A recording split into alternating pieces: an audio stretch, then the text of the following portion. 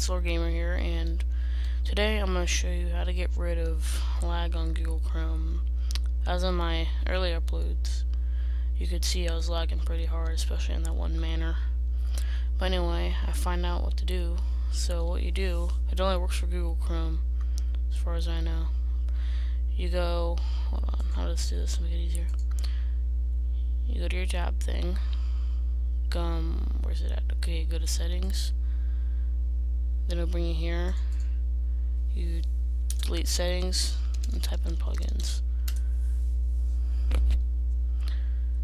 Okay, then you find Adobe Flash Player. Then search for something called Pepper Flash. Right here. Then you disable it. I already have it disabled. Then you just restart your browser and it should be all better. So if you have any questions or comments, please leave them in the video and I'll try to help you out as much as I can. See you YouTube.